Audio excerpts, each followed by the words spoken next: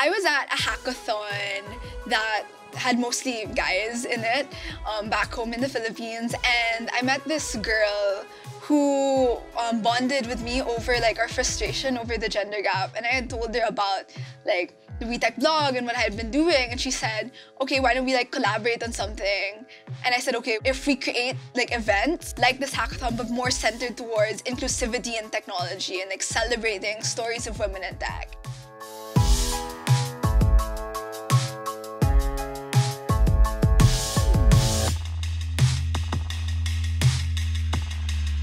Have this dream that any Filipino youth can grow up and feel like tech is as welcome to them as just like any other person. And that when they think of somebody in the tech industry, it isn't like a set gender, race, or like socioeconomic background.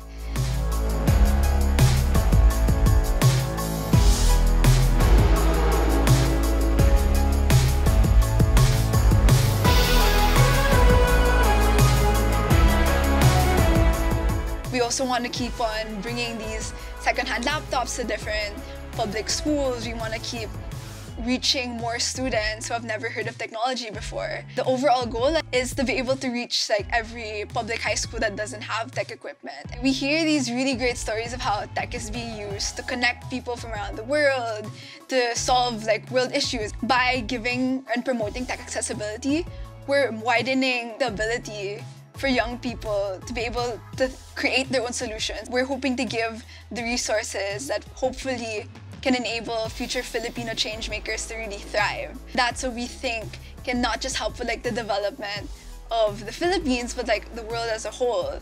Because we acknowledge that in order to solve like really key world issues like say like global hunger like the water crisis we need as many like diverse perspectives as possible. We're trying to equip those like marginalized communities and groups with like the resources they need to join those discussions about tech